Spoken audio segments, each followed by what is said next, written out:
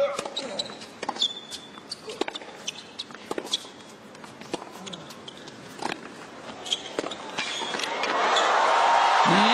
it's good. Well, it's very, very good from both. What a forehand down the line from Verdasco. He's still very quick. Look at the speed here getting across. Federer did well to cover this. Full stretch and it's behind him.